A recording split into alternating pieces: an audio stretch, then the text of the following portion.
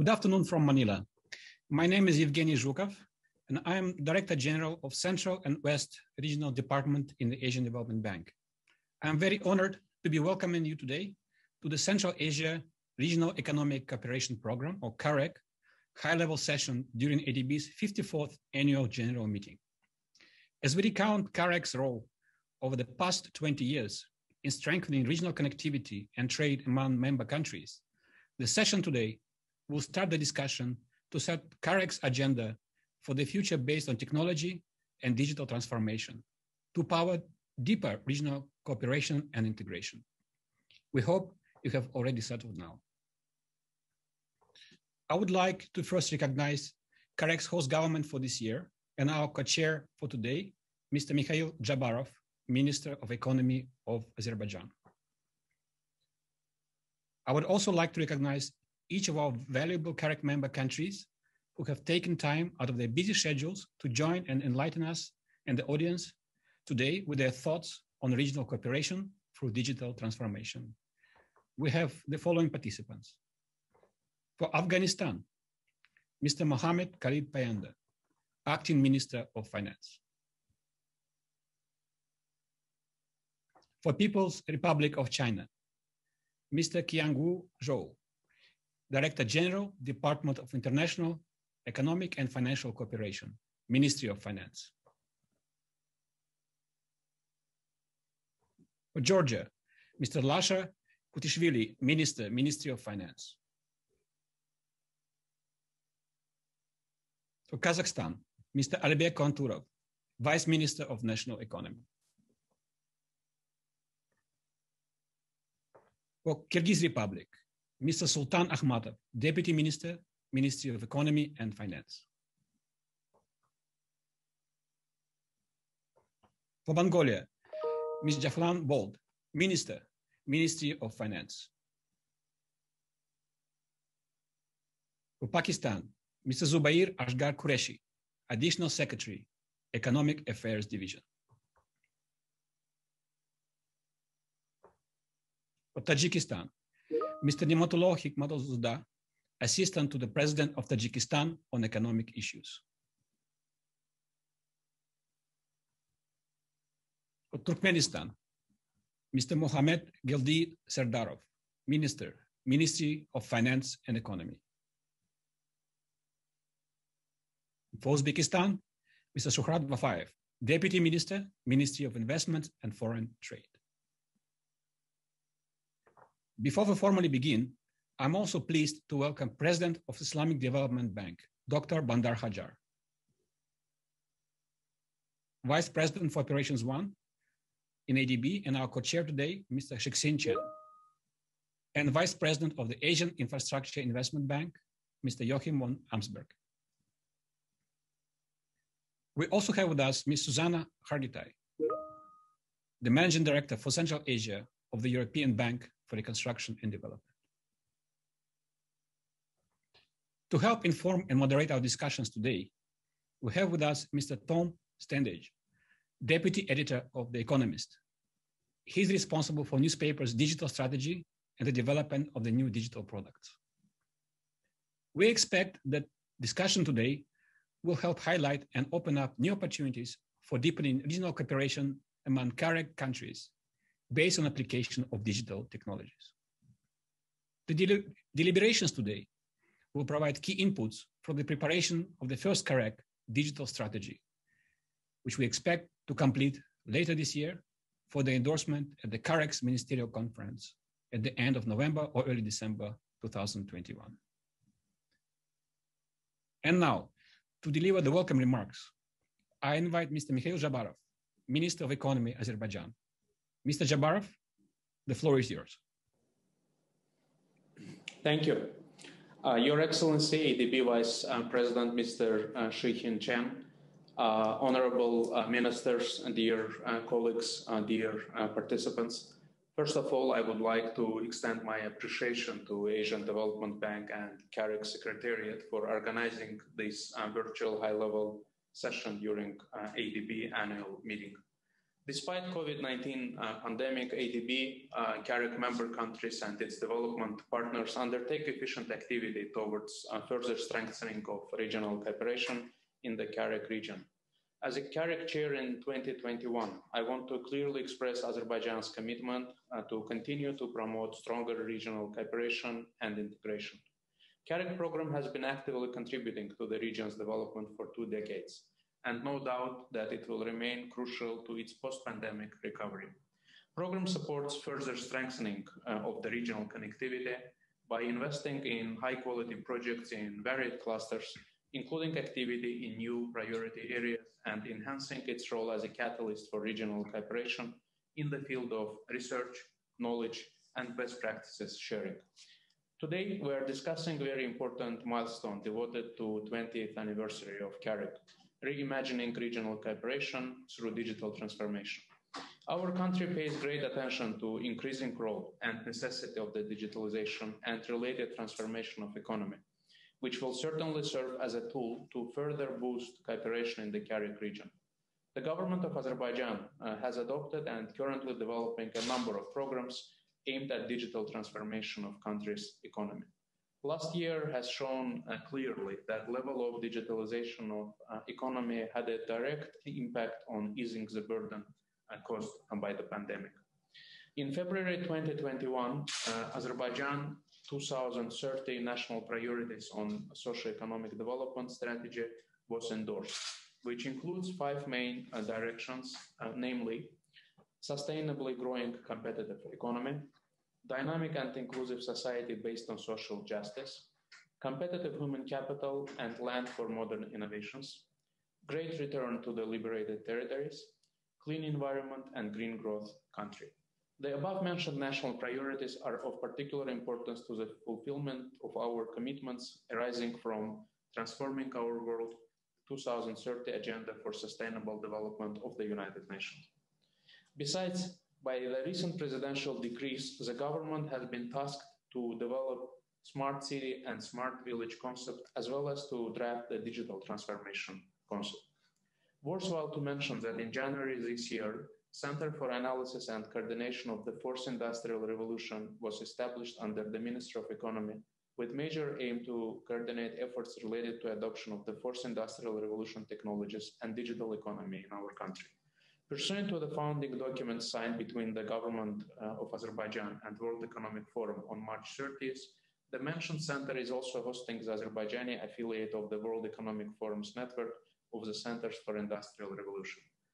The Center for Industrial Revolution Azerbaijan has already become operational on April this year, and it is planned that the affiliate center will be mostly concentrating on artificial intelligence, Internet of Things, digital economy and trade, related issues and projects. In the meantime, we were delighted to hear about joint initiative of the World Economic Forum and CAREC Institute called Digital CAREC. We hope that this initiative will be further supported and developed to promote digital trade and investments among CAREC member countries and to unleash full potential of the fourth industrial revolution technologies in our region. Within CAREC program, we often discuss the regional connectivity. Being an important transportation hub in the region, Azerbaijan is continuously improving cross-border and transit procedures and logistics, digitalizing logistic systems and trade processes. Dear friends, you may know that the new era has arrived for the region and particularly for Azerbaijan. The rehabilitation and development of the territories liberated from almost 30 years long occupation by neighboring Armenia, including establishment of the necessary infrastructure, enabling incentives for business development and implementation of new transport and economic corridors, especially Zangezur corridor, are among the list of priorities on our economic agenda for years to come. These activities will certainly contribute to the enhancement of regional cooperation. We are currently intensively working to fight against pandemic. In January 2021, vaccination strategy against COVID-19 for years 2021-22 in Azerbaijan was adopted and since 18 January, a vaccination process of population uh, was launched and is being successfully implemented.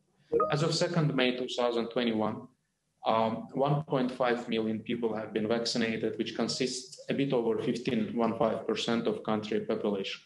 In the view of pandemic and complicated global economic processes, undoubtedly, digitalization will have practical value in post-pandemic environment, and efficient transformation will support and speed up achieving programs' objectives, contributing to the prosperity in the whole CAREC region.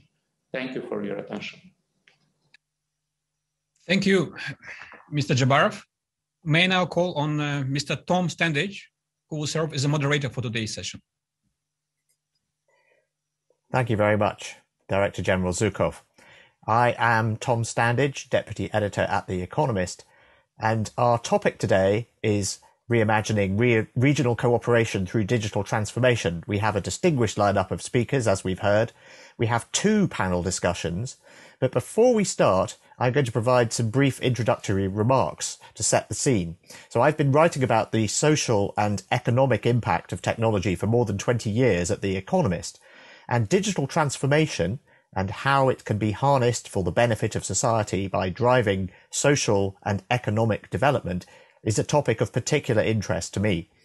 For a long time, one of the big challenges in this field was separating cause and effect. Do rich countries simply have more technology because they are rich? Or does having more technology help countries expand their economies? A series of studies in the early 2000s demonstrated the potential of digital technology, and in particular mobile phones and internet access, to accelerate economic growth. A pioneering analysis of fish prices, for example, on the coast of India by Robert Jensen of Harvard University showed how access to mobile networks made markets more efficient, eliminated waste, reduced prices, and increased fishermen's profits. Information makes markets work and markets improve welfare, Mr. Jensen concluded. More recently, a study led by Christine Zhengwei Qiang, an economist at the World Bank in 2009, examined the impact of mobile phones and internet access in 120 countries. And it found that an extra 10 phones per 100 people in a typical developing country was correlated with a 0.8 percentage point increase in GDP growth, for internet access, the increase in GDP growth was as much as 1.4 percentage points. So we have strong evidence that allowing information to move more freely uh, um, helps make markets more efficient and unleashes entrepreneurship. And this has a direct impact on economic growth. These sorts of findings have led governments and development agencies around the world to focus on boosting connectivity through things like liberalizing telecoms, through rolling out village phone projects, and so forth and a lot of progress has been made in the last decade or two. But even now, there's a lot of scope for improving coverage.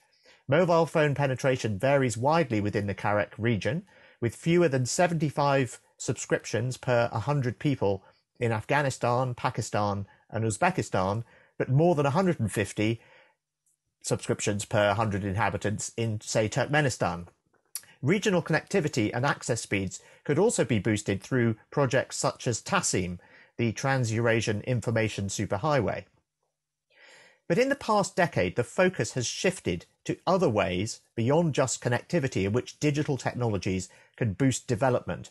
So let's consider some of those. First and foremost has been the rise of mobile money, mobile payments, and mobile banking, all delivered via mobile devices. The most famous pioneer in this area was the M-Pesa scheme in Kenya. But more recently, mobile payment schemes based on mobile devices and super apps pioneered in the, the People's Republic of China have become the dominant paradigm.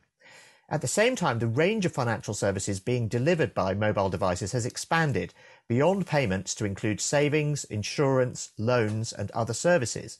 All of this reduces friction, saves time, and brings more people into the formal economy and thus into the tax system.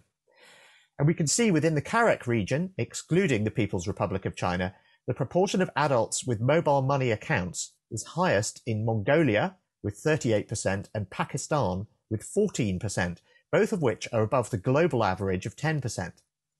Another area where technology can boost growth is e-commerce. In the past decade, the People's Republic of China has become the global leader in e-commerce and more than a quarter of its retail sales now happen online. Buying and selling online drives growth by making it easier for buyers and sellers to find each other. But in many developing countries, according to the United Nations, the growth of e-commerce is being held back by factors like the lack of affordable internet access, over reliance on cash payments, lack of trust, poor digital literacy, and government's failure to remove regulatory barriers. Another area where digital transformation can boost growth is e-government. This makes it easier for people and companies to apply for permits, register property, claim benefits, pay taxes, and so on.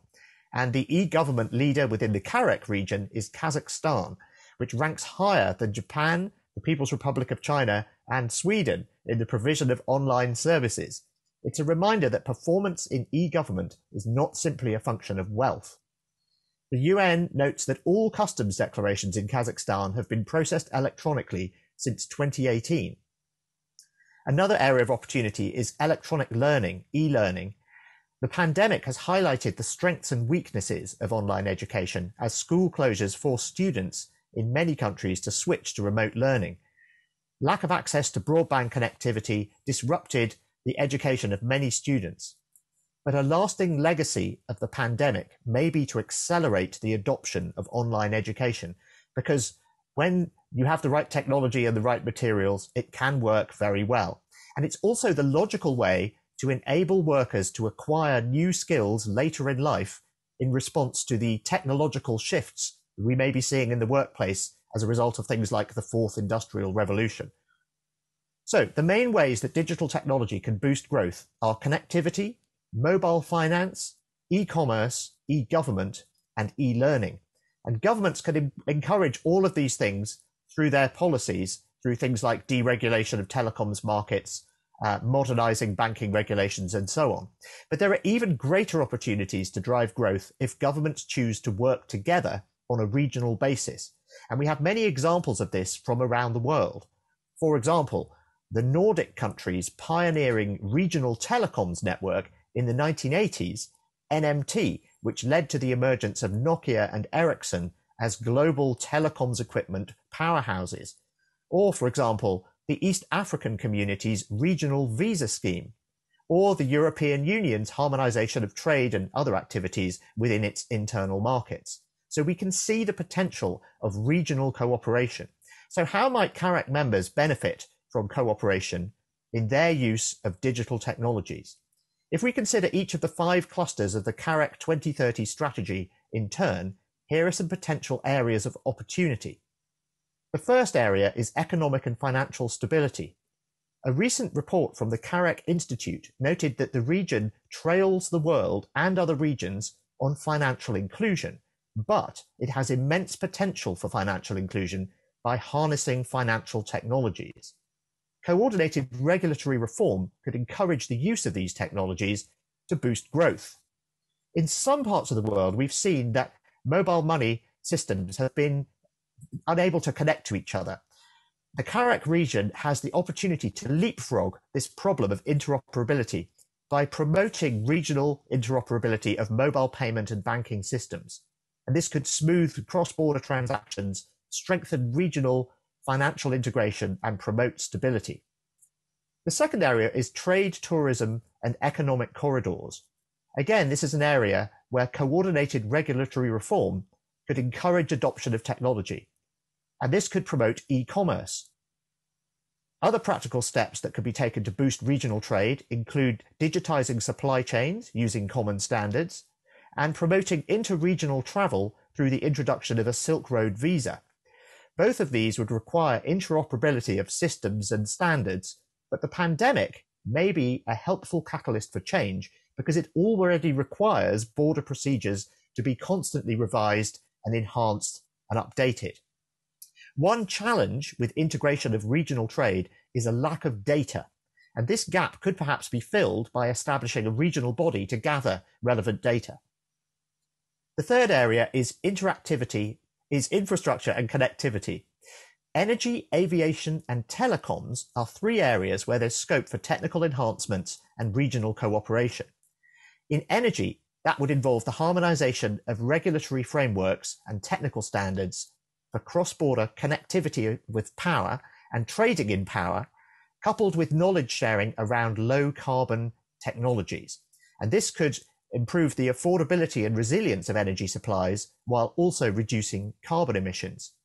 In aviation, upgrading regional airports to support contactless technology and digital ticketing would streamline travel both within the CAREC region and with the rest of the world. And in telecoms, the region might consider what the East African community did when it tried to reduce or eliminate mobile roaming charges. And that project um, strongly contributed to integrated economic activity in the region by enabling cheaper cross border communication. Agriculture and water is the fourth area. A regional data repository for disease surveillance and monitoring of animal products could facilitate regional trade by allowing closer integration of regional and global value chains. This could build on existing initiatives to introduce common sanitary and phytosanitary measures. Another potential area for cooperation is to address gaps in the provision and analysis of weather data and other predictive tools for farmers. This might also take into account regional water distribution, basin management, and storage. Finally, human development. Greater use of digital platforms could boost the development of skills and integrate the regional labour market. A regional job search system could help match workers to jobs more efficiently. It could also provide valuable information about the availability or shortage of skills in particular fields. The pandemic has highlighted the potential of remote learning technologies, and it could provide the catalyst for cross border cooperation on higher education, adult learning, and technical and vocational training. A similar approach could also be taken in healthcare, where telehealth technology allows for remote consultation, sharing of resources and expertise, and greater cooperation between specialists across the region. Once again, the pandemic could serve as a catalyst for regional cooperation in this respect. So there is clearly plenty of scope for cooperation between CAREC members in the field of digital transformation. So now to the part of this session a lot of us have been waiting for, our panel discussions with our distinguished speakers. We have two panels. The first is on challenges and opportunities for digital cooperation, and the second is on the role of CAREC in promoting public-private partnerships to deepen digital transformation in the region. Viewers who are joining us online are invited to submit questions at the right-hand side of the screen by pressing the Q&A button. And you can also vote on the questions that have already been submitted.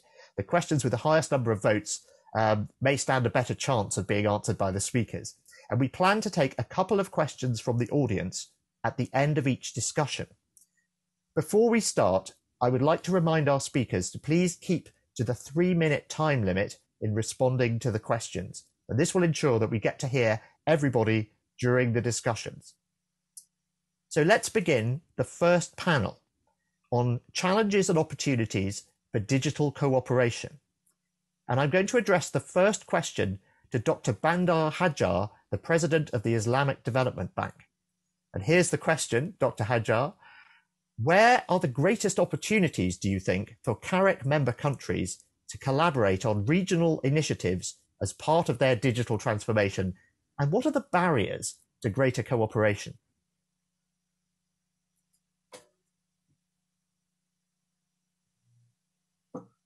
Thank you so much, and it is a great honor and pleasure to participate in this high-level session. Uh, opportunities bound and barriers can be overcome through multilateral cooperation.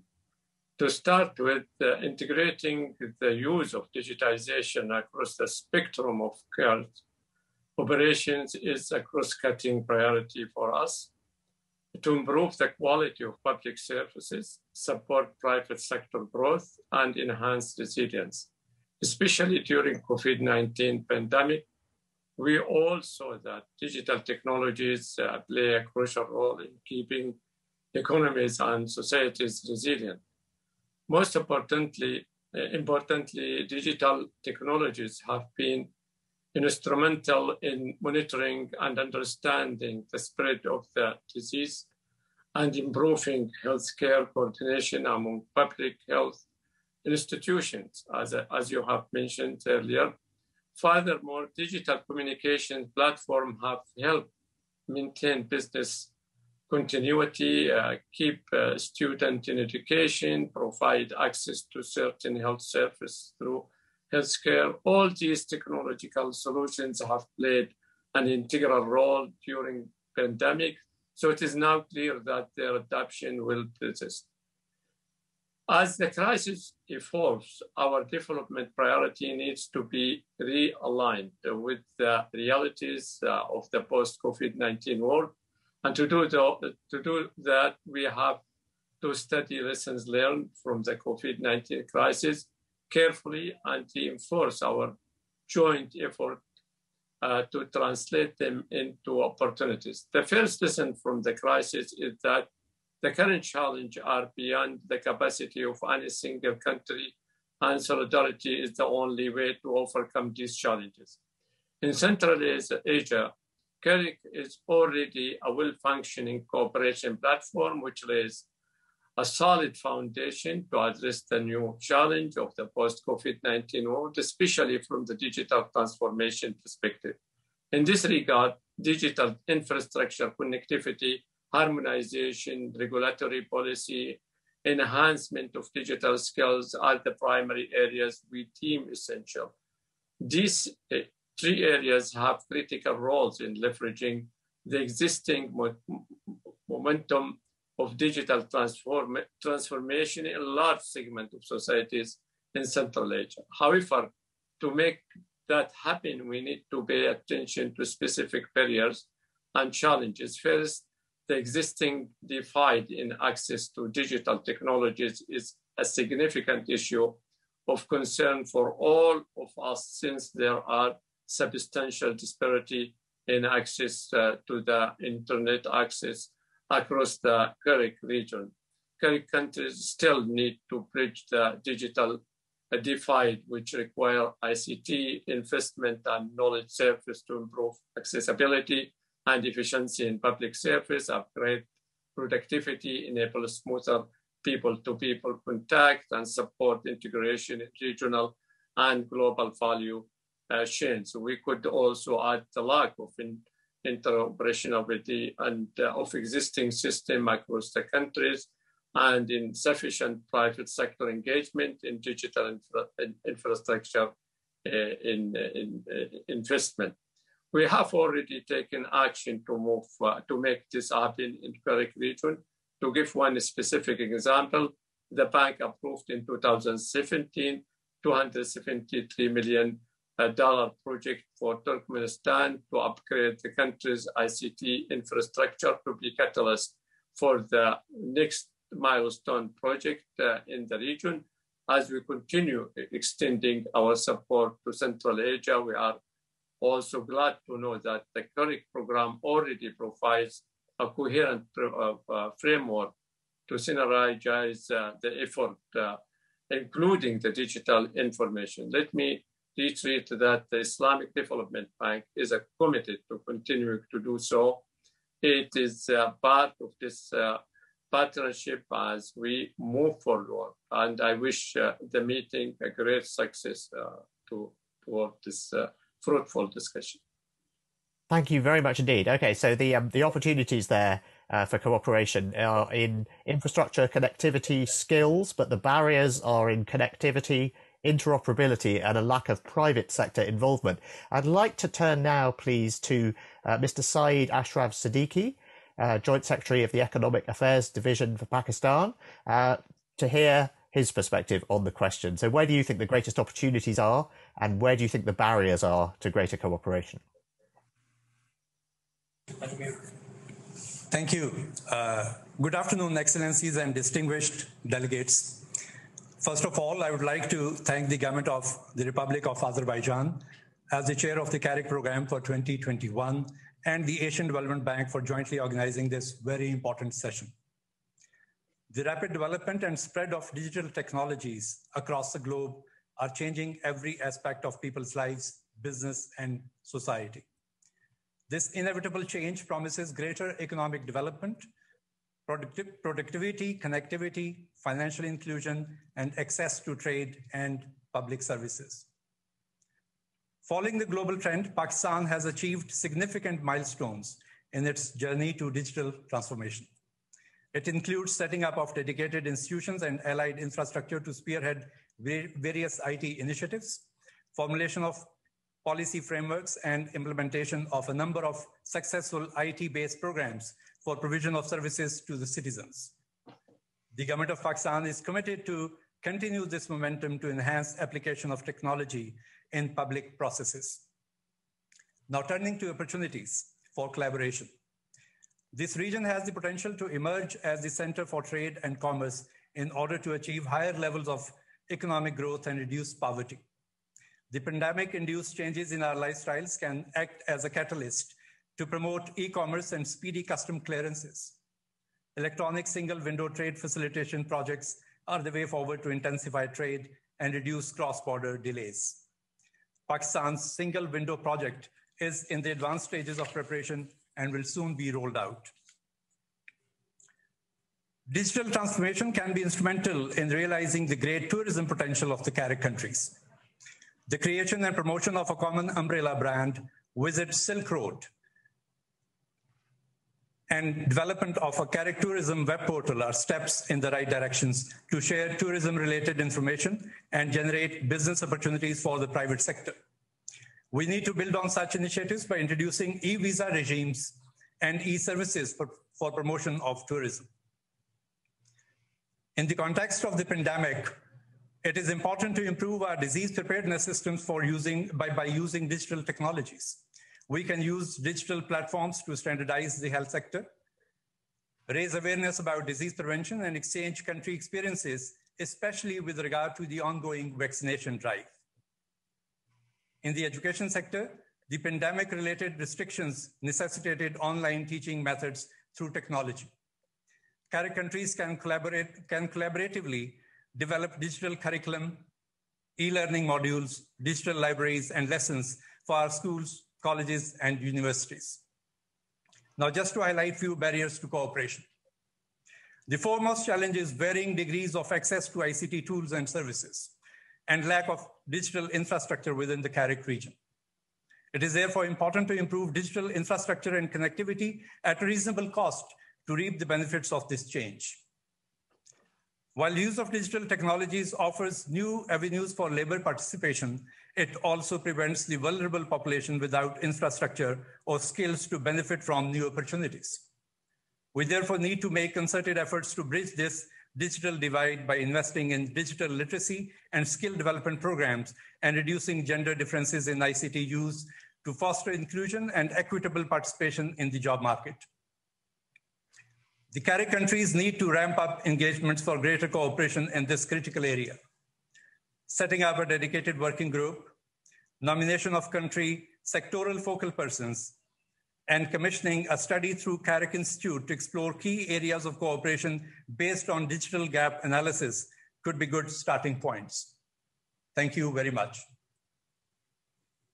Thank you very much. So once again, uh, lots of areas of opportunity identified there: e-commerce, tourism, um, di- disease preparedness and so forth, uh, and also education, but also barriers, uh, once again, with digital access and literacy. Um, I'd like to ask um, Mr. Shixin Chen, Vice President, uh, Operations One at, at the uh, Asian Development Bank, um, for his perspective on this. How can CAREC um, facilitate cooperation between member countries during their digital transformation, and and how can CAREC help the uh, its member countries overcome these these sorts of barriers when it comes to connectivity, digital literacy, private sector investment, and so on?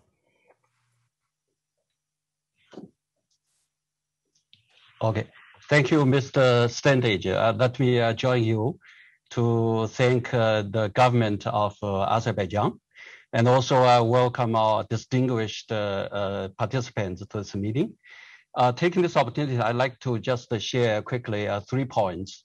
Uh, first of all, uh, we have seen the pandemic accelerate, uh, accelerate the digital transformation in our CAREC countries.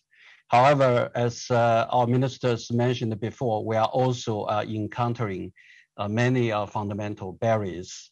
Uh, such as, uh, as they mentioned, the, considerably uh, varies in regions' e-readiness, uh, inadequate uh, uh, digital infrastructure in some CAREC countries, lack of harmonization regulatory framework and policies across our region, and also uh, enlarge the digital divide. I think it's uh, also there.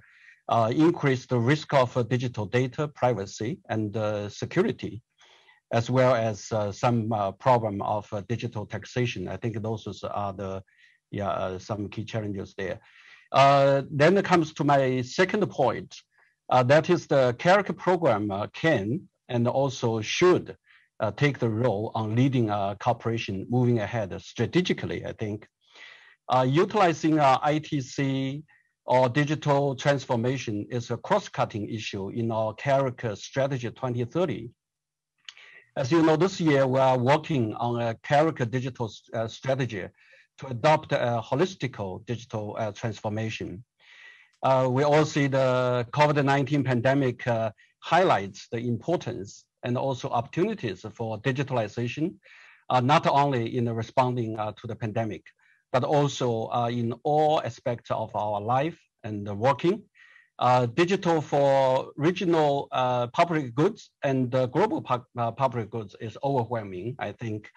Uh, in addition to that, uh, digital for inclusion, for say no one left should left behind, digital for human capital development, for instance, education and job creation, and also digital for the green growth uh, digital financing for all the areas. I think all of this uh, need to be strategically addressed. So CAREC program is the right uh, platform to function uh, this role. Uh, then I come to my last point, the third point. I believe uh, program with uh, its convening power should strive for breakthrough in some very critical areas uh, let me mention uh, just uh, several of them.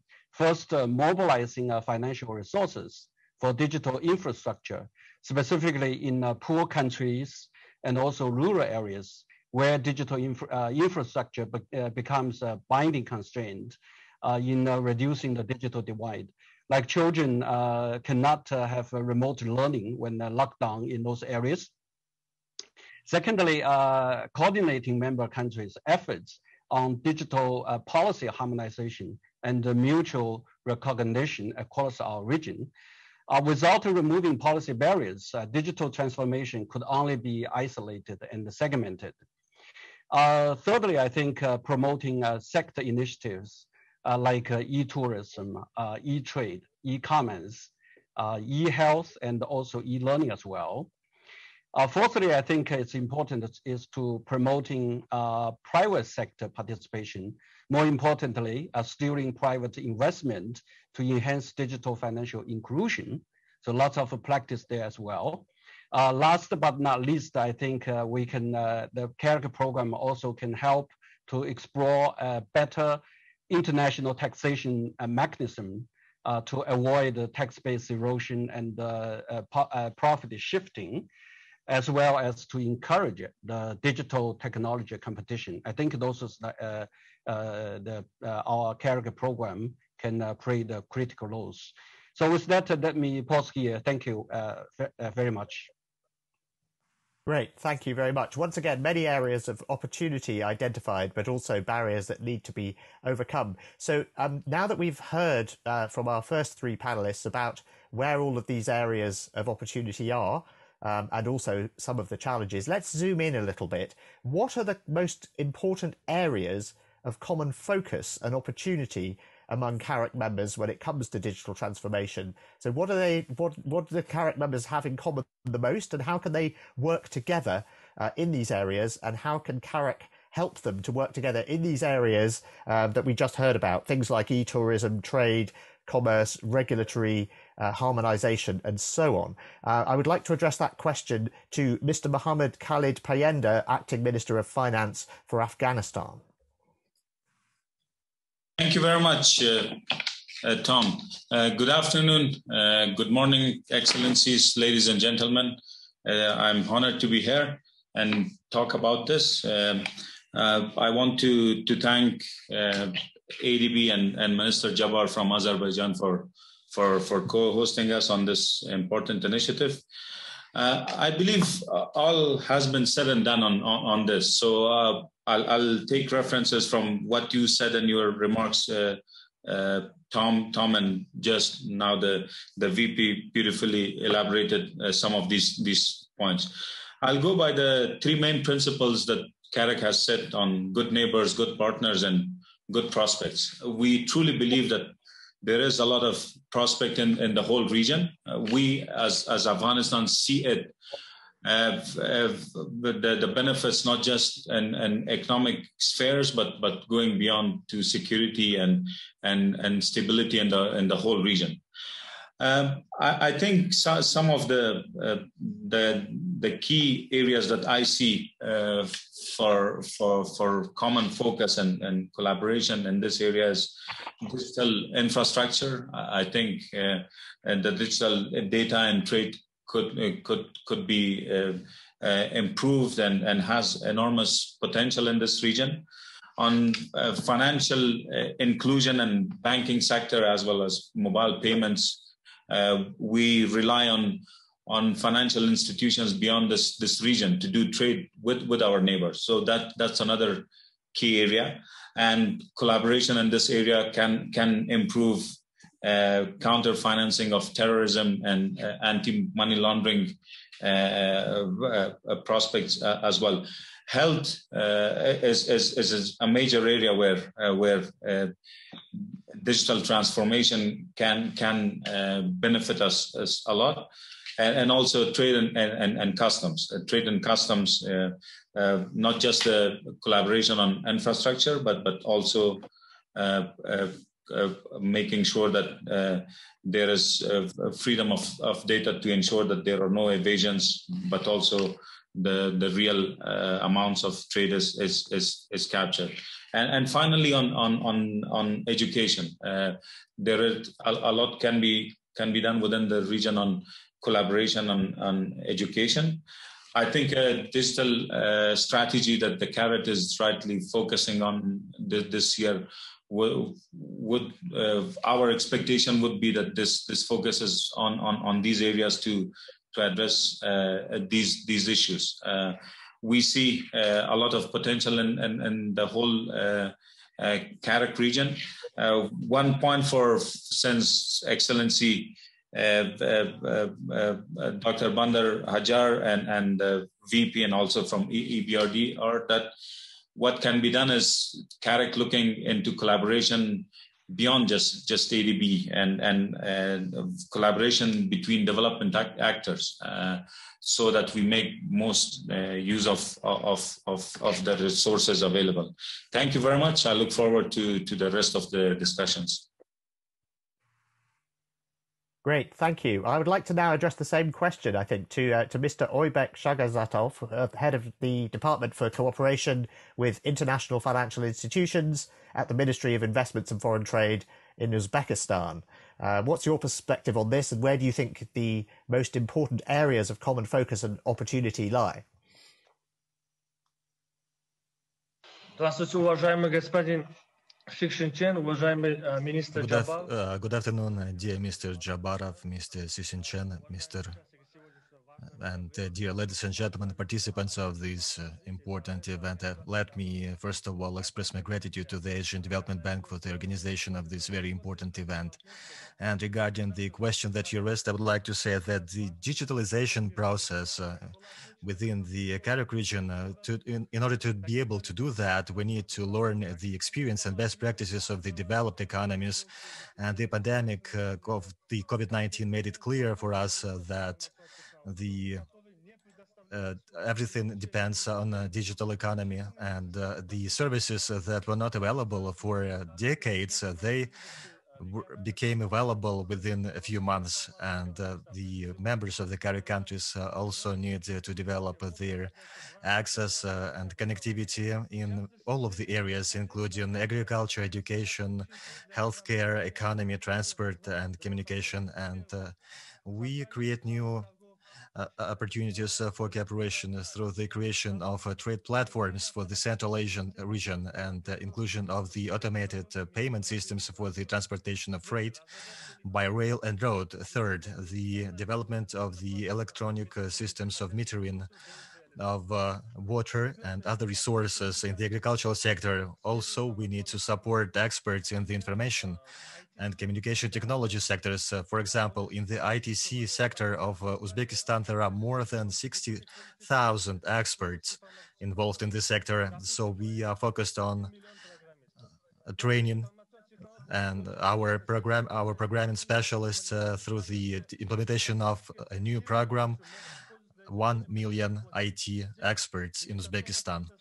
And uh, we also focused on the development of the ameliorative uh, improvement of ameliorative processes and improving productivity of uh, agricultural lands. Uh, uh so the most efficient uh, implementation of uh, business processes will provide opportunities for the leapfrog development in all of the areas of economy. Over to you. Thank you.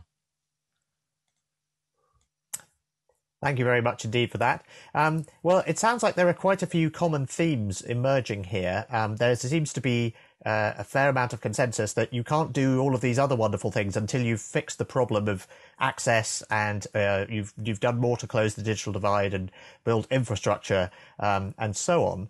Um, what I'd like to uh, end this panel with is the final question, which is if there had to be a single area on which to focus um, a single promising area in which to develop a pilot project to demonstrate the value of digital transformation in promoting regional cooperation, what would that area be? Uh, so I'd like to start by addressing that question to Mr. Mohammed Geldi Serdarov, the Minister at the Ministry of Finance and Economy in Turkmenistan.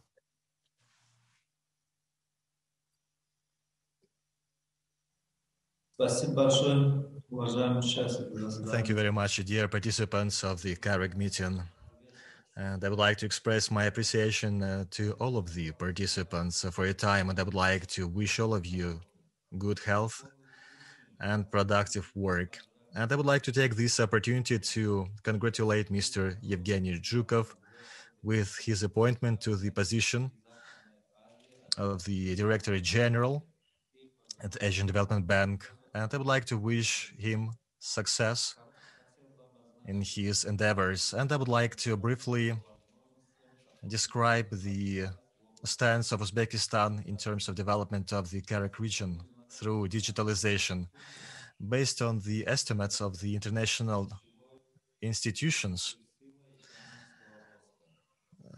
the digitalization is a key driver of economic growth, and the relevance and prospects of the digital development of the economies of the region should be reflected in the main directions of the implementation of the CAREC digital strategy. And the implementation of digital technologies in the CAREC region involves a collaborative and proactive approach, including a shared vision agreed upon by all private and public sector stakeholders common strategies, objectives, and long-term measures. And uh, we believe that the transition to the shared digital platforms will foster innovation and pave the way for generating regional dividends for all countries in the region. And digital economy increases the efficiency of trade transactions. It improves transparency and accountability eliminates delays and reduces risks of all kinds. Reducing transaction costs associated with the movement of non-digital goods and services, for example, through regional customs reforms, would, in our opinion, have significant economic impact, including stimulation of the growth of digital trade in the countries of the region.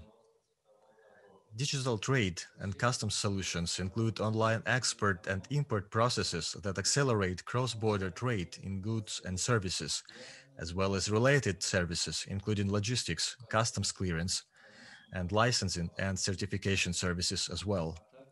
And uh, in particular, the single window system brings together all government agencies involved in the export and import procedures allowing companies to submit their documents electronically from any location, wherever they are.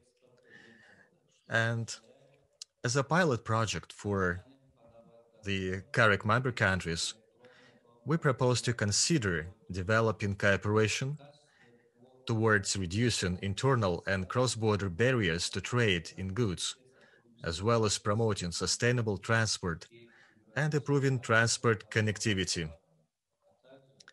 Trade and transit facilitation should be coupled with more effective official control measures.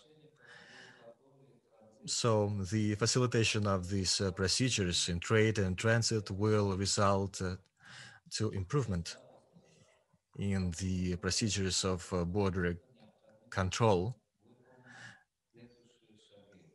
So we suggest the following steps uh, to be taken to launch the proposed pilot project. First, we need to strengthen the regional cooperation through coordination of the ongoing regional trade facilitation reforms as well as private sector involvement through the establishment of a dialogue platform under the CAREC program. Second, we need to increase CAREC's involvement in implementing trade and transport facilitation conventions and agreements through joint studies, including the application of regulations that influence the regional cooperation under the CAREC program. Third, we need to we need to introduce innovative tools for simplifying border crossing procedures uh, and introduce a unified model of checkpoints and related procedures, as well as introduce an electronic queue at the border system, assisting in implementing the framework standards for customs clearance and control in the CAREC member countries, which should be actively pursued. And I would like to note that the implementation of the region's digital agenda would require the creation of expert platforms, as well as a network, network of competence centers and excellence centers, formation of a pool of initiatives and projects, and building partnerships with those who have chosen the path of digital transformation. Dear ladies and gentlemen, deploying the CAREC digital integration platform and ensuring international operability in the region will give impetus to the development of the next generation of effectively interacting systems, ensuring the creation of a common digital economic space, as well as development of the digital economy in the CAREC region. In conclusion, I would like to thank everyone for their active cooperation and your dedicated effort. Thank you very much. Great, thank you very much. A very clear answer there. Focus on reducing um, the uh, the the barriers at um, at the borders between CAREC countries and uh, basically integrate them um, to improve cross border trade in both goods and services and with coordinated customs regulations and so on. Um, so very straightforward answer there. Uh, I'd now like to turn to Mr. Sultan Akhmatov, the Deputy Minister for the Ministry of the Economy uh, and finance in Kyrgyzstan uh, for his perspective on where we can have the most, the single most promising area to develop a pilot project. So, what's your perspective?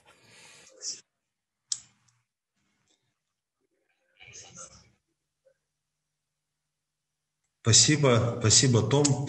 Thank you very much. Uh, thanks, uh, Tom. I would like to greet all of the participants of this uh, webinar, which is very important for all of us, especially in the context of the second wave of the uh, COVID-19 pandemic. All of the issues that we are discussing today, they are quite crucial and relevant. And I will briefly tell you the following as the single most promising area for pilot projects is the electronic commerce. And uh, the pandemic uh, of the COVID-19 has highlighted the importance of uh, pursuing the development of e-commerce, uh, although there are some challenges related to the various levels of uh, development uh, in, this, in the region and of which in the region is the pioneer and the champion the People's Republic of China is the pioneer and the champion in the uh, region. In terms of development of electronic commerce. And uh, the development of electronic commerce would allow us to overcome all of the barriers that hamper movement of uh, goods and is a barrier to exchange of human resources. And uh, through the development of e-commerce, we will be able to get rid of the need for physical interaction. And even in the lockdown context, we will be able to keep on promoting our economic development. So I believe that we need to, to implement this pilot. And as our colleague said before me, this issue has been included into the development strategy of the CAREC program. And uh, for your reference, I would like to say that the Kyrgyz Republic has also adopted the e-commerce development strategy till 2030. And we need to learn from the best experience of our neighbor countries uh, to be able to leapfrog and uh, by the example of the best practices, uh, which is uh, applicable in our context. So my suggestion is to look into this direction. Thank you. Over to you. Great, thank you very much. So once again, a uh, endorsement for the idea of pursuing closer ties on um, on digital trade in both goods and services. Um, I'd like to go back now to Mr. Jabbarov uh, for the perspective from uh, from Azerbaijan. So what's your um, uh, what's your take on this? Uh, yes, thank you very much, Tom. Uh, I'd like to join uh, in my uh, uh, assessment to remarks of my uh, esteemed colleagues, also ADB representative who spoke on the subject. I think Azerbaijan, Azerbaijan would underline that um, the development of an integrated transit and transport information system Uh, uh, may serve uh, as a very tangible uh, mm, tool uh, which would not only enhance the uh, transportation, cross-border transaction, uh, transit potential, unlock transit potential of, all, of our countries, but I think will also lead to two important elements. One is to a, a closer integration of economies, more freer movement of goods, people, and actual ideas. Uh, uh, and secondly, to unlocking uh, a related number of related issues ranging from um, customs procedures to value added services that can be added online.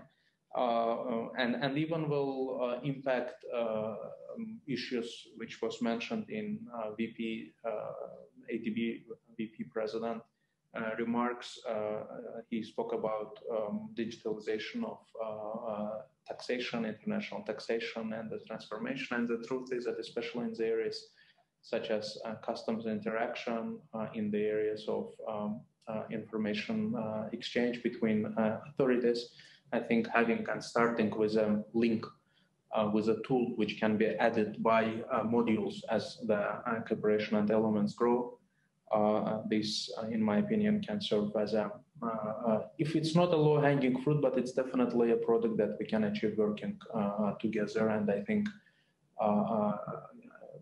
if um, the initiative can be formulated and put together as a sort of action plan, uh, then it will be up for uh, CAREC member uh, countries to do everything it can. Azerbaijan has already established United Transit Operator, uh, for all cargo uh, uh, transiting through Azerbaijan in any direction. We now are able to provide um, a single window and it is backed, it is actual front office for the digital information uh, system that at this stage we develop nationally. But of course, uh, it will uh, need to, in order to be more suitable, uh, it will need uh, to be built up uh, further. Thank you very much.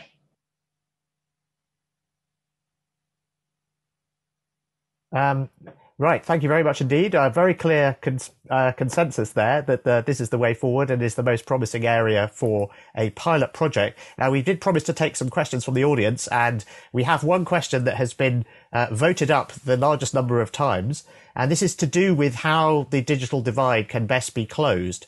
Um, so uh, the question is, how can you overcome the digital divide um, uh, within the CAREC region countries? I would like to ask. Um, both the representative for the Kyrgyz Republic and for Afghanistan to comment on this, and then we're going to hear uh, finally um, from the representative for the AIIB. But um, but uh, perhaps we could start with the Kyrgyz Republic representative. Um, uh, Mr. Sultan Akhmatov, how do you think the CAREC member countries should address this problem of uh, of connectivity and closing the digital divide?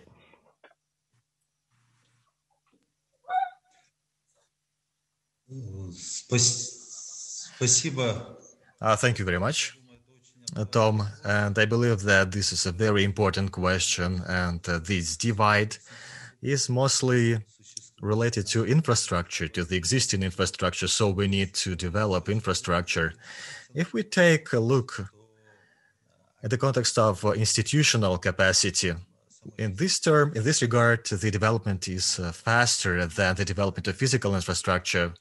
So I believe that uh, the employment of uh, integrated approaches will allow us to eliminate uh, this divide among the countries.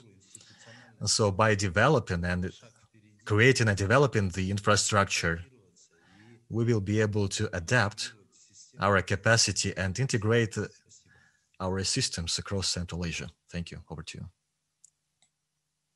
Okay, thank you. And uh, what's your perspective on this? Um, uh, if we could hear from the uh, uh the representative from Afghanistan. Um, thank you. Yeah, th- thank you very much, Tom. Uh, apologies for the blackout earlier. Proves the point that we have to in- invest in and and and and, and the uh, fiber optic here and from my end. I think it's both structural and institutional issues. I think it requires working on a clear list of policies to, to see amongst the, uh, the, the CAREC countries uh, for a streamlined position. I can give you an example of uh, trade. Uh, infrastructure uh, is is a is an issue, but in most areas it's not a bottleneck. The, the binding bottleneck is a, a lack of collaboration between between the neighbors. We have minimum uh, amount of infrastructure that could allow regional trade. I think it's the same same issue issue here. We need to invest in the inf- infrastructure, but whatever is invested in the CAREC countries should be geared towards uh, uh, regional connectivity rather than uh, internal connectivity uh, at, at, the first step. So prioritizing that because it requires a lot of investment, but then uh, collaboration on, on institutional and, and policy issues uh, would would help uh, make sure that it, it, gets up and running. Thank you. Great. Um, well, we have many examples of that sort of cooperation um, from other parts of the world, which the CAREC member countries could perhaps benefit from. The one that strikes me um, is the East uh, African community, where there is not just a single visa that allows people to move between those countries, but there is also, in effect, no roaming charges. Uh, it's treated like a single network by many of the network operators, and that really has done a lot to boost economic integration um, and uh, and boost trade and integration in that area. Brilliant. Okay, we're now going to move on to the second panel discussion. So thank you very much indeed to our uh, panelists in the first for all your contributions. Um, the second panel discussion is on the role of CAREC in promoting public-private partnerships to deepen digital transformation. Uh, once again, you're invited to submit questions uh, as we go along, and we hope to uh, get a couple of questions in at the end. Uh, and, and I, once again, I'd like to remind our speakers to please keep to the uh, the three minute time limit. Uh, in responding to these questions so that we get to hear from everybody.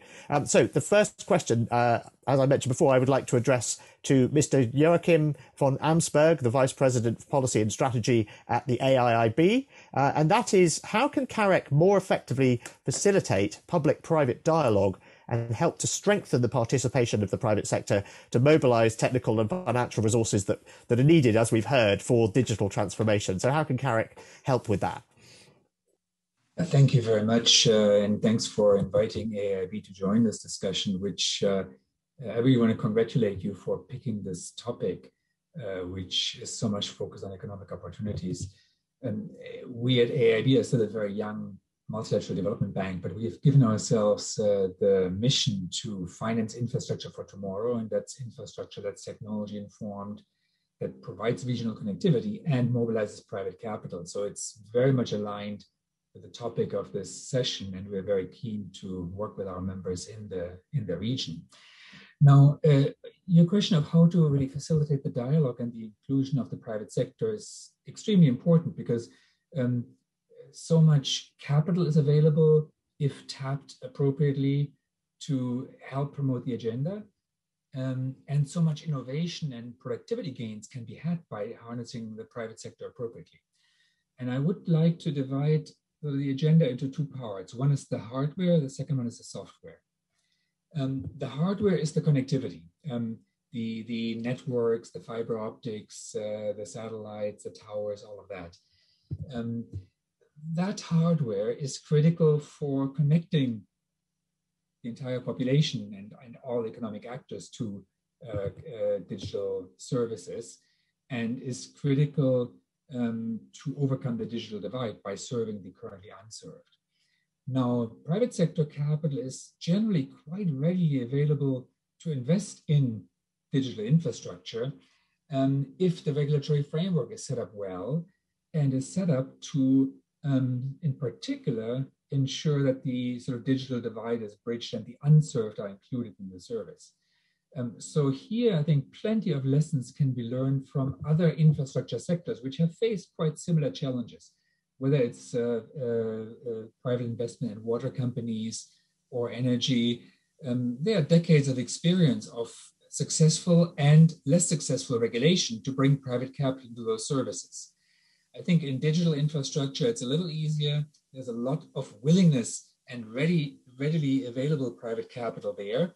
But in terms of the regulatory framework, plenty of lessons I think can be learned of how to introduce obligations to provide universal coverage without strangulating private investors with excessive regulation that will, in the end, just curtail their uh, their their drive. Now, let me turn to the software side, and by that I mean um, the companies that create the ecosystem of tech companies, whether it's in fintech or infratech or other areas, the ecosystem uh, of the private companies that put their entrepreneurship, their energy, their innovation, and their capital into the sector. Um, it, here, I think again, regulation plays a key role, um, but in particular, I think a key role in preventing regulation that uh, stifles that stifles competition and stifles innovation. Uh, these are new areas, so private companies need some space to experiment, to uh, bring new ideas, try new approaches. Um, and even though some regulation is necessary, for example, in the financial sector, there are very interesting experiences in other parts of the world with regulatory sandboxes where the standard regulations are sort of put aside and the uh, and a special dialogue is established between the regulators and the industry to develop really appropriate, innovative approaches uh, for regulation uh, of those areas. The last point I want to make is uh, that for development of the ecosystem of uh, companies that provide digital services, um, scale is quite important. And this is where I think the regional cooperation that it's the topic of this discussion is highly appropriate. Um, not every, especially smaller country, will be able to have the full economy of scale in each of the subsectors where we talked about opportunities today. So it is quite desirable and quite conceivable that there will be specialization. Um, but that scale, where let's say the, the ecosystem in one country can serve the entire region in a certain subsector, is only possible if the barriers between countries are removed. And this leads me to, to, to endorse and resonate with the comments made by many previous speakers who talk about the need to reduce customs barriers, other regulatory barriers. Um, can, for example, medical service be provided across boundaries? We talked already about trade. These are the kinds of regulatory issues where public and private sector need to work together uh, very closely to facilitate the growth um, of the ecosystem. And let me just mention as, as an inspiration uh, uh, what has been done in other parts of the world. Um, we have invested in a satellite network in Indonesia to bring high-speed internet to thousands of unserved islands through a private investor um, who, within the appropriate public regulatory service uh, regulation, provides high-speed internet services to those remote areas. On the ecosystem side, uh, again, let me refer to ASEAN, the uh, Southeast Asia, where I think you've seen over the last just few years, and very exciting ecosystem of scale develop uh, where companies are serving a regional market. Regional companies serving a regional market based in different cities of the uh, Southeast Asia uh, region. So I think there are plenty of interesting examples to inspire each other in terms of uh, growing this agenda and building very strong public and private partnership. Thank you. Great, thank you very much indeed. And yes, in telecoms in particular, we do have many examples from around the world of uh, that the CAREC region could could learn from, um, and in particular about how the importance of scale and uh, countries working together uh, can mean that um, smaller countries uh, can be can be helped along. Um, I, another good example of scale, obviously, is the success of the rollout of, of mobile telecoms in China. Um, so I'd like to turn now to Mr. Changwu Zhou, the Director General for ADB WBG at the Department for International Economic and Financial Cooperation. Um, uh, for the People's Republic of China, and um, what's your take on how CAREC can more effectively facilitate public-private dialogue in this area? Thank you, thank you, Chair. Uh, thanks also go to uh, Shixin, uh, the VP for ADB, who is my good friend. Well, it is quite opportune for us to have a theme discussion uh, on digital transformation. Uh, here uh, at these ADB annual meetings, uh, though we are still on holiday. Obviously, Uh, we, are, we all sides uh, should uh, prepare ourselves for the post COVID-19 era and make uh, joint efforts to promote digital transformation for CAREC members in order to spur the region's economic and uh, uh, social recovery and growth. In the whole process, we believe the PPP modality will have a critical role to, to play for such a transformation. I have four uh, uh observations. One, build consensus and strengthen strategic guidance. Broad consensus and strong support from the government and the society are key to engaging the private sector. CAREC should formulate the, the digital economy strategy and the action plan to provide strategic guidance for the private sector based on CAREC 2030 strategy, as mentioned by uh, VP Chen. For the, for, for the uh, and in, also in line with uh, the demands of the members. In addition, CAREC could uh, further align its programs with the region's relevant development initiatives and involve both public and the private sector through CAREC Forum, seminars, and others for better communication and cooperation. Uh, second point, mobilize financial resources and facilitate digital infrastructure connectivity. In this sense, MDBs are better positioned to contribute as their funds have substantial cost advantage and convenient power. CAREC should uh, encourage ADB and other MDBs to scale up their investment in digital infrastructure and mobilize more other resources from both public and the private sectors. Meanwhile, CAREC could uh, explore innovative ways to attract private capital. Uh, for example, through risk mitigation or guarantee fund, among other means to lower investment risks. My third point is strengthen capacity building and bridge the digital divide as repeatedly mentioned by uh, the previous speakers. There is a huge need for digital tenants and technology in developing countries. CAREC should help members speed up digital talent building by vocational education and knowledge sharing, and also by working in partnership with multinational institutions such as the World Bank, ADB, AIIB, uh, IBD, and also CAREC Institute to benefit from the financial and expertise resources. My last point is to strengthen coordination of regulatory policies and optimize the business environment for digital economy. I would echo the points made by my previous speakers. This will promote the application and the development of digital technology.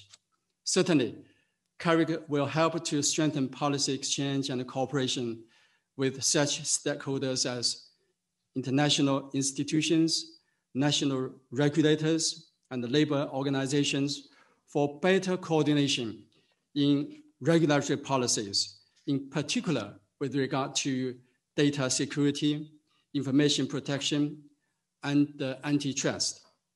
All these efforts are meant to promote inclusive and prudent regulation and to create a more fair, just, and sound business environment for the goals of the digital economy. I thank you, Chair. Thank you. Thank you very much. Um, we'll get to the question of um, of harmonising standards and uh, um, regulations and, and, data sharing and that sort of thing in a moment. Um, but uh, but first, following up on that point um, about the importance of the role of development banks in all of this, uh, I would like to call upon uh, Susanna Hargitai, the managing director for Central Asia for the EBRD. What's your perspective on uh, where uh, development banks can fit in here and facilitate this sort of public private dialogue that's so necessary? Thank you very much, Tom. Greetings to all participants. EBRD is not a novice in most of the CAREC region, but I am. So let me bring uh, what you were suggesting, Tom, also some perspectives from where I used to work, which is Southeastern Europe, where we have been rolling out a couple of digital projects, but also responding to some of the comments made by the previous speakers. So first of all, uh, yes, digital transformation is one of the top three priorities for the European Bank for Reconstruction and Development as well. This is both for direct financing, but also weaving it into at least every second investment we, we are making, whether it's for SME financing, whether it's uh, a grid development, whether it's, uh, again, financial institutions work. Now, when it comes to private sector participation, a couple of thoughts. Uh, my colleague from AIIB came from the hardware software side. Let me come from the protagonist side. So one that we would certainly like to explore, and it was also suggested just by the previous speaker, how to set up. I know you love, Tom, these workshops, but if they are well targeted, they can bring additional benefits among real economy participants like chambers of commerce. And they have been, their knowledge and their requests have been very put to very good use when it comes to regulations for logistics, e-certificates, whether it's phytosanitary, whether establishment of green corridors. So we need to take their views into account, but also, again, setting up e-commerce platforms, even on a regional basis. This is something that we are pioneering in Southeastern Europe.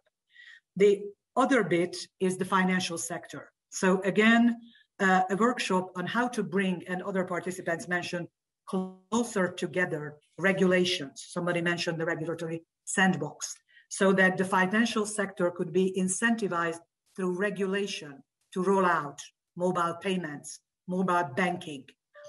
First, it will not be cross border, let's face the reality, but at least in the countries as they are rolled out. And then we shall get also to cross border. Because these regulatory issues are almost, and I will exaggerate here, foolproof of what needs to be taken into account. Colleagues already mentioned security, anti-money laundering. So again, this, this could be a fruitful discussion. Then another discussion should take place with respect to investors, operators. So when it comes, for instance, to broadband rollout, uh, there are a lot of investors that are also operators who would be ready to invest, for instance, in last mile access, with the state investing in mid mile and tendering out the operation of the full network when we are talking about outreach, obviously, beyond urban areas. Uh, this is how one could involve. Basically, it's a form of a public-private partnership, if you agree with me, because it's not the full infra, not the full uh, Monte that the that the sovereign state would have to invest in, but you harness, and also the operations are continued. And again, we are happy to help also with contracts with such operators or tenders, which is the case. Another area where we would certainly see potential for private sector in involvement is skills, education. We are setting up now, again in Southeastern Europe, a whole platform, yes, catering for various languages, uh, that would provide niches for vocational training, also for digital training, once we have the access, of course, uh, and we can get back to this digital divide, but also through vetted private sector uh, education service providers. They exist. We use many of these consultancies as well to advise small and medium-sized enterprises of how to go digital. So again, using e-learning and private sector service providers, I believe uh, participants may agree with me. It's another way of harnessing that knowledge. Now, the bravest we should be, and I don't know whether we are there, considering also private sector service providers for the various aspects of e-governance. Yes, we are conscious of national security concerns, of, again, data protection, but perhaps we could think about, and, and some of the participants mentioned, uh, we call it uh, e-agrar. So again, just the registration of who has what land, what is the crop production, it could already inform the governments of what kind of policies they have to formulate. It could provide the governments with access to agricultural producers. Could horribile dictu, such a service, be run by private sector service providers and provide such data? You're smiling, Tom, I know. Uh, today I'm in an optimistic mood.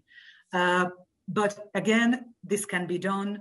Uh, there are also uh, other kind of precedents that e-services for governments can also be harnessed. This is my very short kind of take on how we could develop further ideas of involvement of private sector into digitalization. Thank you.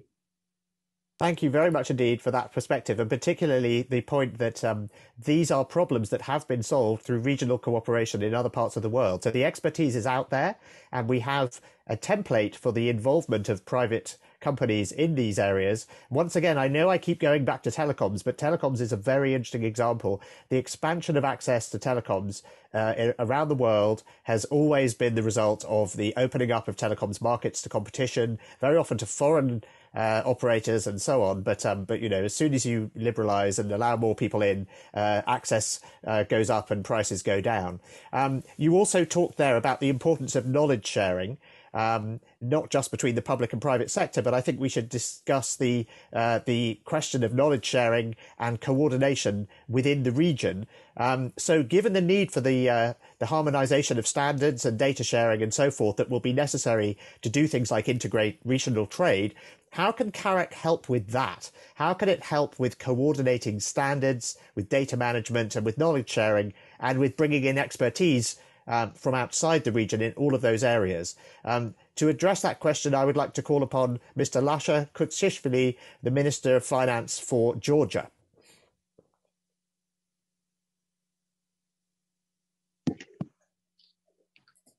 Thank you. Thank you, Tom. If you look at the successful, uh, successful uh, examples of regional integration we will see that NATO harmonization uh, economic system uh, is very important as the uh, as the uh, promotion of regional trade and the formation of logistic corridor can be identified as the two main objectives of uh, regional cooperation. The harmonization of uh, administrative systems in these two in those, these two areas is uh, crucial. Uh, first is cross-border trade facilitation. And here I would like to mention uh, one very important project that is strongly supported by ADB. This is an innovative idea uh, of single customs checkpoint between Azerbaijan and Georgia. This is a project that creates uh, respective hard infrastructure, but not only. Uh, the project will develop a digital infrastructure uh, connected to the information system of both countries. We are confident that this will significantly, uh, significantly um, case cross-border movement and uh, possibly become a good model for the entire uh, corridor. And the second is development of uh, logistics uh, corridor. Despite the apparent geographical advantages of the corridor, uh, different legislation and diverse administrative systems make the corridor less attractive. However, this is where digital transformation can help again. Digital solutions for harmonization of standards, CAREC-wide coordinated data sharing system can be the element which might boost the uh, potential of the corridor. In addition, uh, countries should focus on reform aimed uh, at deregulating of the sector vital for the corridor development uh, and uh, promoting the role of the private sector. Also, it's uh, almost all countries of the region, state-owned enterprises can play an important role especially in the development of the um, transport corridor. And, uh, and I'd like to emphasize the importance of the reforming of the SOE sectors. Uh, this has the potential to bring the higher efficiency to the corridor. In all, in all this area, we see the importance role of ADB. Thank you. Great, thank you very much indeed. So it's it's um, a question of um, of learning by doing from the sound of things, and a couple of these um, pilot programs, if they go well, could potentially provide a model for the whole CAREC region. Um, so that sounds like a very practical way forward. Um, I'd now like to call upon Mr. Javkhlan Bold, uh, the Minister of Finance for Mongolia, uh, for his perspective on how CAREC can coordinate these the harmonization in these important areas. Your Excellency, Minister Mikhail Jabbarov, dear Mr. Evgeny Zhukov, moderator Mr. Tom Standage, and fellow panelists. Distinguished guests, it's my pleasure to attend the event. As a panelist, I'm Javkhlan, Minister of Finance of Mongolia. COVID-19 pandemic has been a huge challenge to countries all over the world. Mongolia was not an exception the pandemic continues to pose significant challenges to our financial stability and the socioeconomic condition, and the challenges are expected to continue for uncertain amount of the post-COVID-19 pandemic.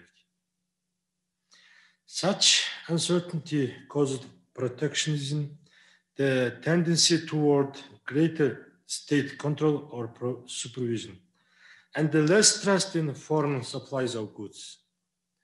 The initial instinctive reaction to the COVID-19 crisis last year by most countries was to look inwards and act alone. Countries have closed their borders, supply chains have been disrupted, and regional economic activity has fallen. Therefore, as a result, we must take comprehensive measures not only in the public health sector, but also to protect the revive the economy, balancing the support to the health sector and the economy. However, the current situation has proven that the bilateral and regional collaborative measures are necessary to address common issues, overcome this difficult period and moving forward. In this term, CAREC, as the main platform for the Central Asian region, must play a key role for the economic and the social interactions among member countries to the, mitigate the adverse impacts of the COVID-19 pandemic. Regional integration projects could assist countries jointly tackle the challenges of COVID-19. Such projects can implement collective measures which addresses not only health sector, but also revives the stagnant economy. Any joint efforts to enhance regional economic activities to accelerate the regional trade flow based on the transparent and transparent data would mitigate the existing downturn. Sharing data and uh, experience on the public health sector, including the patient symptoms, treatment methods, post-treatment conditions, and health sector training. Even the management of the health facilities shall be crucial impetus for overcoming the pandemic. Moreover, member countries can benefit from continuing our collaboration through the CAREC platform in reviving regional economic activities. In relation to the trade sector, this crisis can be an opportunity for CAREC countries to encourage a new trade path within the region, including e-commerce, paperless trade. Such new development requires development of virtual platform and further involvement and interaction of members. Based on the transparent and cross-border data flows, regional countries could collaborate in easing their border service and to support trade flow within the region. We are certain that CAREC program can facilitate such projects and serve as a platform for data and experience sharing amongst the member countries to overcome this difficult period. I would like to express, express to full commitment of the government of Mongolia in implementing such measures and providing all necessary support in this matter. Thank you very much. I hope you all will stay safe and well. Thank you very much indeed. And you make a very good point there that um, the pandemic has led to um, cooperation and sharing of best practice between many countries uh, around the world on a regional basis, but also internationally. Um, so for the final question, um, how can we apply this sort of learning um, from other countries that um, you know that are further ahead and have have experienced um, uh, the benefits of these sorts of changes? How can we apply that to digital transformation? So, what can CAREC member countries learn from each other, but also what can they learn from countries outside the region about the best way to approach digital transformation and who should they be trying to borrow from and what should they be trying to borrow um, to respond, I would like to first call on Mr. Nemotulo Hikmatulo Zoda, the assistant to the president of Tajikistan on economic issues. Over to you.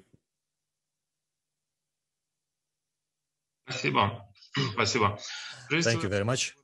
Uh, first of all, I would like uh, to express my appreciation to all of the participants for your time and effort and active participation in this discussion. I also would like to express uh, my appreciation uh, and gratitude to the uh, government of Azerbaijan for the chairmanship in this program this year. And I would like to say that uh, the CAREC program provides considerable support to all of the CAREC member countries to ensure sustainable development in the region for the development of technically sustainable and well-balanced decisions based on the best practices as well as uh, the strengthening of the open and inclusive platform of cooperation, including regional, regular regional meetings such as the one that we have today.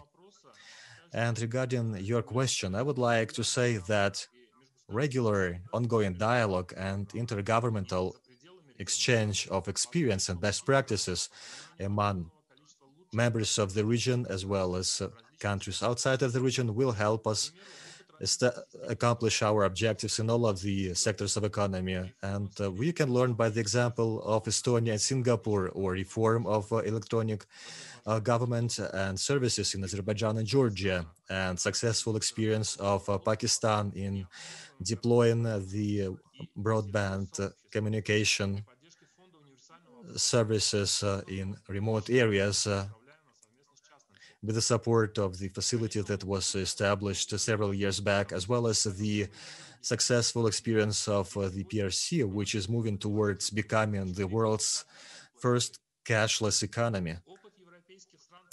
And the experience of European countries is also very exciting, especially in the area of e-government, protection of data, development of uh, data technologies, and ensuring community engagement and involvement of the civil society into the various processes, as well as the positive uh, practices in the reform of uh, telecommunication sectors and uh, application of artificial intelligence technology, big data handling, development of the enormous market of financial technology, and application of various technology in various sectors, such as the agricultural sector. Also, there are very good examples and good practices of development of the ICT sector in uh, such African countries as Nigeria and Kenya, as you mentioned before. And the example of India in terms of outsourcing is also very interesting. And I would like to say that in Tajikistan, we have approved the digital economy concept a year back, which was developed with the involvement of the World Bank experts. And I would like to express uh, deepest gratitude to the World Bank for the ongoing support in developing our digitalization. Thank you. Over to you. Great, thank you very much. Lots of examples from all around the world there. Um, but coming back to the CAREC region, I'm very glad that um, uh, uh, we have uh, someone from Kazakhstan we can ask about uh, e-government in particular because uh, Kazakhstan is recognized as a as a leader uh, in the region. Um, so um, uh, I'd be interested to hear about that, but also um, about which other countries around the world can offer advice and best practices to the CAREC member countries. So I would like to call upon, please, Mr. Alibek Kuantyrov, the Vice Minister for the National Economy of Kazakhstan. Yeah, thank you, Tom. Let me greet, uh, first of all, Mr. Jabbarov, Dr. Bandar Hajjar, Mr. Evgeny Zhukov, uh, all ministers and participants, governors and alternate governors. Special thanks to the ADB for organizing this session. Well, it is true that the experience of all CAREC member countries and other countries in applying the effective uh, approach, approaches to digital transformation in the field of PPP is interesting and important for all of us.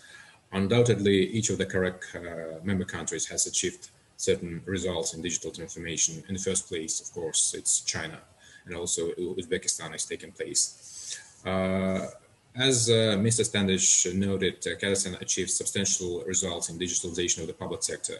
But now we're also uh, aiming at doing the same in the private sector and in industries. Uh, I would like to note that several high-tech projects have been successfully introduced and implemented in our country through the PPP mechanism, which has significantly influenced the digital transformation. In particular, the PPP project on the creation of the system for photo, video recording, and video analytics, Sergek, proved its effectiveness. Uh, the main goal of this project is to improve traffic discipline, as well as the level of traffic and public safety. Another project is the development of an information system for paperless workflow in the field of air cargo, which is called e-freight. This is the first PPP project of the Republican significance on digital, digitalization in the field of transport. Thanks to this project, our country significantly increased its capability as a transit hub connecting Europe and Asia. Uh, and as of today, the entire cycle of air cargo transportation based on international standards is digitally represented only in Kazakhstan. Another large-scale project is provision of broadband internet access to rural uh, settlements in the country using the fiber optic communication light technology. Uh, the successful implementation of this project will uh, uh ensure favorable conditions for the introduction of the uh, most modern uh, digital services, such as digital government services, digital medicine, and educational initiatives. International experience shows that digitalization of government services is a useful way to increase the effectiveness of interaction between government agencies and the private sector, as well as to reduce costs. This can be seen from the successful examples of digital services for the private sector implemented in such countries as Estonia, Denmark, Finland, Sweden, Singapore, and South Korea. Uh, the experience of these countries is great, uh, of great interest, uh, not only to our country, but to the whole CAREC region. I believe that it is necessary to accumulate the existing uh, achievements, scientific potential, and ensure the transition to a new digital reality. And cooperation within the CAREC uh, framework and outside of it will help to attract investments for, for the implementation of important social and infrastructure projects. Thank you.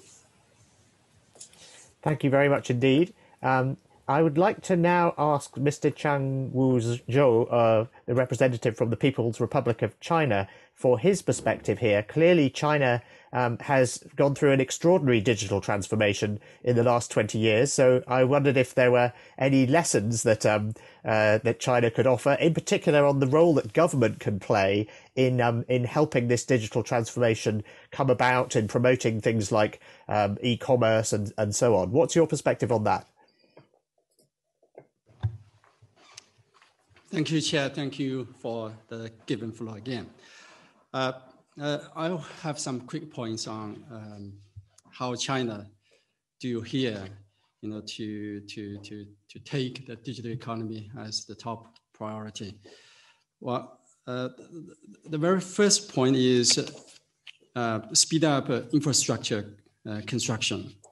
You know, we vigorously develop the new forms of infrastructure characterized by 5G, data center, industry networks, and the smart cities to promote our comprehensive digital capacity.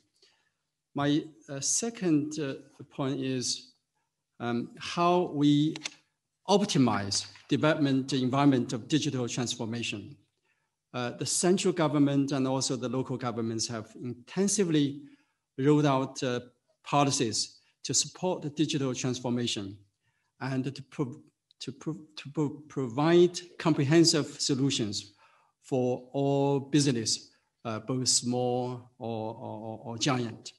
We have also formulated several national standards, such as uh, evaluation models of the maturity degree of data management capacity and to strengthen standard guidance. Uh, the third uh, is to to grow our digital industry to be uh, bigger and stronger.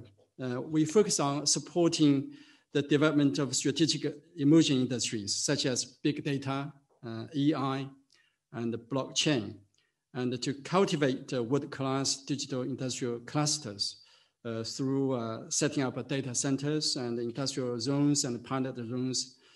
And uh, my first, fourth quick point is how we improve the digital ecosystem uh, over time, as you know, uh, uh, pointed out by many speakers. We really work hard to strengthen data management and foster data factor markets to facilitate data collection, management, and usage, and uh, finally unleash the value of data factor. And uh, to, to, to, for your information, China has, you know, established big data management administrations at all local levels to supervise, to manage, to foster data transaction market while maintaining the data security. The very last point is how we improve the digital governance. We explore ways to employ the digital technology to build a digital society and a digital government to make public service and social governance more digitally oriented. And uh, I want to give a very uh, short example. Uh, last week, uh, I visited uh, Shanghai, where we see Shanghai's integrated online platform program, which has been included into United Nations e-government survey 2020. You know, just to do all things uh, on one platform. Uh, thank you. Thank you. Yes, um, I think for years now, um, people have talked about how easy it is to pay parking tickets and things like that uh, through your phone in, in Shanghai. Thank you very much. Just staying on the subject of data, we are going to now take a question from the audience um, about uh, the challenge when you improve connectivity across borders, uh, what do you do about data standards? And in particular, uh, what do you do when different countries have different positions on things like privacy regulation um, or data retention? Uh, so I would like to address that question to Zsuzsanna Hargitai, please. Um, Tom, you probably know I like very challenging questions. there, there is no magic wand here because there is different perception of risk with respect to data management, access to data, use of data, both by authorities and also the users, including the public and commercial users. So again, um, you will tell me I'm a kind of obsessed with workshops, but I think it's worth having the workshop so that CAREC members a bit better understand each other's concerns, the risk perception level of how they see it. It might be country specific and it might well be the case, but also to invite uh, those have those have, have established other kind of ten, standards, be it you will not be surprised if I suggest European Union countries, but also again from outside, whether it's China, whether it's Japan, but have a discussion, uh, less statements, more kind of exchanges. Hopefully, an in person meeting would facilitate such a discussion to understand which way CAREC as such would go. Of course, uh, I hope that colleagues would agree with me when I say that we at EBRD would not be advocates of lowering the standards, that is, super maximum restrictions and uh, kind of breach of privacy so that we get there just because of national security concerns. But I repeat, I think that there should be a better understanding because it might very well be national security concerns. Commercial, there I see ampler kind of room for understanding how, uh, again, and who can access what kind of data for which purpose. But this understanding would need to be developed in the CAREC community. Thank you very much. Great, thank you. Well, that is the perfect setup for. Um, I would like to invite uh, the representative from Tajikistan to address this because, um, just to summarize the discussions today, there is a very clear consensus that the the most immediate opportunity is to improve trade in goods and services across borders within the region by harmonizing technology, harmonizing standards, and so on. So, how will CAREC countries do that and ensure that worries about data regulation and different approaches to data uh, don't get in the way of that happening? Um, I would be very interested to hear uh, your take on that. Um, over to the representative for Tajikistan.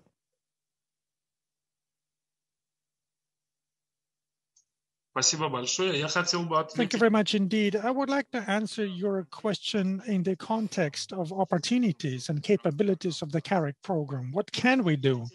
So in the light of these new challenges and the growing needs for investments, I believe that within the framework of the CAREC program, we need to increase the assistance and exchange of experience and knowledge and best practices on the harmonization and modernization of the legislative and regulatory framework in the area of ICT to develop open and competitive markets of telecommunications and improve the conditions for attraction of private investments.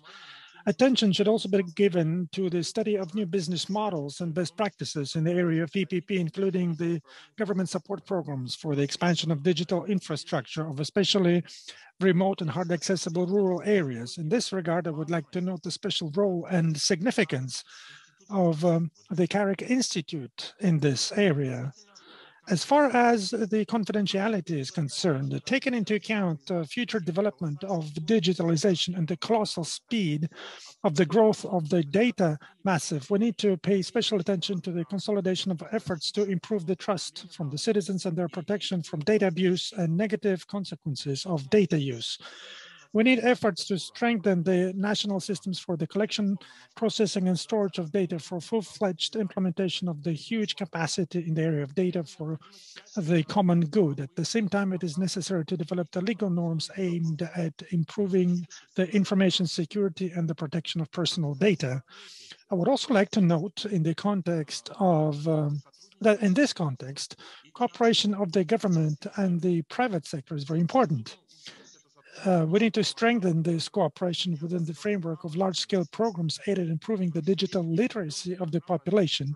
And we need to expand in-depth programs in the area of new technologies such as artificial intelligence, big data, Internet of Things, and robotization for their effective application in all sectors of the economy. And we also need to optimize the use and reduce the losses of energy. A very important role in this area belongs to the development partners that are members of our program, including the Asian Development Bank, the World Bank, Islamic Development Bank, the European Bank for Reconstruction and Development, and all other partners. Thank you for your attention. And thank you very much, Mr. Hikmatullah That was a perfect note on which to end our discussions. Thank you to all of our panelists for taking part today. Thank you for your questions. Um, and uh, I thought that was an extremely constructive discussion, and it's there's a very clear direction of travel that comes from that. So at this point, I'm now going to call on James Lynch, the Director General of the East Asia Regional Development uh, Regional Department, to make his concluding remarks. Uh, Mr. Lynch, over to you. All right. Well, thank you very much, Tom. And in my opinion, today's session was fantastic. And I think we all learned a lot from one another. Um, as we bring this session to a close, let me begin by thanking Mr. Tom Standage for being an excellent moderator for the panel discussions. And I think the uh, discussions today really highlighted the many roles um, that digital technologies can play in responding to the pandemic, but also in supporting longer term recovery. We also learned that by working together, under the CAREC program, we can harness digitalization to strengthen regional cooperation, to stimulate economic growth, and to support more sustainable, inclusive, and resilient development across Asia and uh, across Central Asia and beyond. So let me try to share with you three, three takeaways from today's session. First, the CAREC programs provides all of us with an ideal platform to promote digital cooperation. CAREC countries have already adopted their individual digital strategies, which is really a commendable starting point. And as we heard today, the CAREC program provides a unique opportunity for members to share their technical know-how and lessons learned, and also to tackle many of the common challenges through digital solutions. Um, our cooperation on the Information Custom Exchange Initiative, for example, has yielded significant improvements in customs information exchange and in simplifying and harmonizing systems and procedures. Um, looking you know, beyond IT applications that facilitate cross-border trade, digital tools such as surveillance and early warning systems can help CAREC members control and prevent transnational threats to public health, agriculture, and the environment. Um, the second key takeaway is that there is a need to mobilize both private and public finance to support digital transformation in the region. We've seen how quickly the private sector has applied and reshaped digital technology in response to the pandemic. E-commerce, telemedicine, online education are just a few examples. As many participants mentioned today, partnerships between the public and private sectors play an increasingly essential role in developing, financing, and applying new digital technologies the CAREC region, there is tremendous potential to promote PPPs and catalyze private investments in the digital space. ADB can serve as a facilitator, enabler, and financier in this process and in responding to the digital needs and constraints of SMEs in the region is really, really a top priority. Uh, number three, regional cooperation and digitalization can help CAREC build back better. Building back better will require continued investment in quality infrastructure or the hardware across all sectors.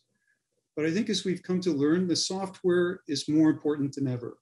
Not only digital software, but software in terms of new reforms and policies to create the enabling environment for innovation, application, and investment. So in this context, regional dialogue is so important for harmonizing standards, responding to the challenges of privacy, and cybersecurity, as well as addressing the digital divide, both in country, but also region wide. So, distinguished guests, today's session on reimagining regional cooperation to digital transformation represents a significant step forward as we begin to shape the CAREC digital strategy. On behalf of ADB, I'd like to thank everyone for their participation in today's session a sincere expression of appreciation goes to Minister Mikayil Jabbarov of Azerbaijan and ADB's Vice President Shixin Chen for their roles as co-chairs, and of course to our CAREC country representatives and our development partners. Thank you for your valuable insights and contributions this afternoon. Finally, we are very grateful for those who worked hard behind the scenes to make this virtual session possible including this CAREC Secretariat, ADB's Office of the Secretary, and our IT department, just to name a few. So everyone, thank you very much. Stay safe and enjoy the rest of the day. This meeting is now adjourned.